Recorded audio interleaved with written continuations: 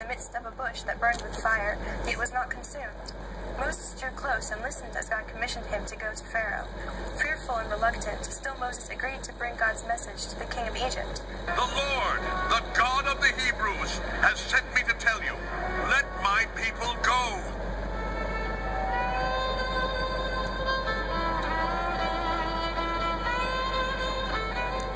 Moses left the wilderness to return to Pharaoh's palace, the very place where he had been raised.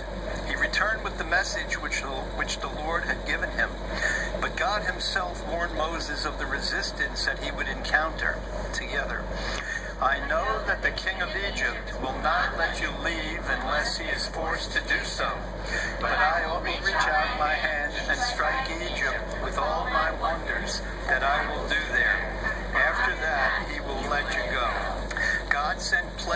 One by one, yet with each plague, Pharaoh hardened his heart.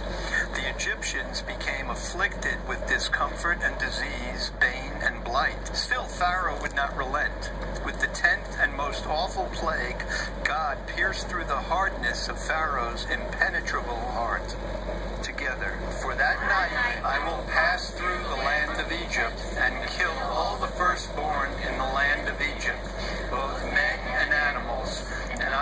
execute judgment against all the gods of Egypt. I am Adonai,